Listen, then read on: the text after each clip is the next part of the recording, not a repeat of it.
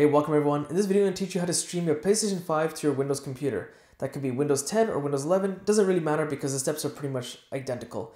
Now, if you're looking for the written instructions on how to get this done, a link to a website can be found in the video description. Some other things to keep in mind is that this can be done over a wireless connection, whether it's your PC or PS5 or both on a wireless connection, but you should have a pretty strong signal. I personally recommend that you have both devices on a wired Ethernet connection on the same network if possible. The other thing to keep in mind is that Sony mentions that you can do 1080p streaming, not even 4K. But 1080p streaming does not work. For some reason, this method only caps at 720p, even though this is the official method from Sony themselves. I've had this problem even since the days of the PS4 Pro, so just keep that in mind. As of today, it's still capped at 720p. So before continuing any further, there are a couple requirements that must be met. Don't worry, they're pretty easy. The first is that you must have a Sony PlayStation account. This is a free account is basically the account you're going to use to actually log into your PlayStation 5 console. Just make sure you have those credentials handy. The other thing is that your PlayStation 5 DualSense controller must have a wired connection to your computer in order to stream your PS5 to your PC. Why is that the case? I have no idea. For some reason, Sony will not support a wireless connection. Even their official website does not list anything about wireless connection. You can connect your PS5 controller to a computer using a wireless connection. I have another video explaining how to get that done, but it does not support streaming controls, unfortunately. Okay, so the first thing we're to do is set up your PlayStation 5 ready for streaming capability. So to do this, go to your main system settings menu, then system, remote play on the left, and then turn on enable remote play. While still under the system page, select power saving on the left, and then select features available in rest mode.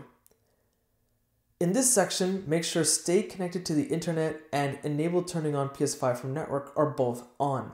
What the last step basically means is that if your PlayStation 5 is ever in rest mode, you can turn it on over the network from your computer. And now you want to set up your PC for streaming. If you haven't already, connect your PlayStation 5 controller to your PC using a USB wired connection. Then you want to download the Sony Remote Play software. I'll put a link to the official Sony website which you can download it from. A link to that will be in the video description.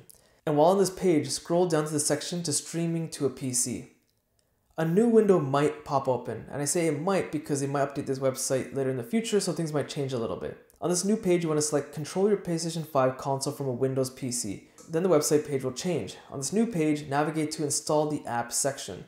Agree to the terms and download and install the app on your computer. The first time you use the app, you'll be prompted to enter your Sony credentials. Make sure you enter the same ones as used on your console. This is what I mentioned earlier. You'll then be prompted to select how much data you want to share with Sony. You can modify your option here. At this point, you'll be prompted to connect to the PlayStation 5 console you're trying to stream from. If for any reason the connection fails after you just installed this application, I recommend you reboot. Usually rebooting after installing this software for the first time fixes that issue. After your console is detected, on the left side is a small gear icon. In this settings menu, you can adjust quality of streaming. Again, for some reason 720p is capped, as I mentioned earlier. You can adjust the frame rate, and if your PC has an HDR display, you can choose to turn on HDR mode. Then go back and connect to your console. After successfully connecting to your PlayStation 5, it'll open in a program window. You can maximize the window or make it full screen by hovering your mouse over the window. The streaming can work quite smooth, but even with a wired connection on my PlayStation 5 and PC, there are some random frame rate dropping issues. I have a feeling that the streaming service still needs a bit of work, especially since 720p is a cap. I think Sony hasn't figured out how to even compress the stream efficiently, even with everything in my home being on a wired connection. But other than that, that's pretty much how you get that done. And I hope that video was useful. If you did, be sure to check out my social links in the description. Hit the like button, it does help. Subscribe, and thanks for watching.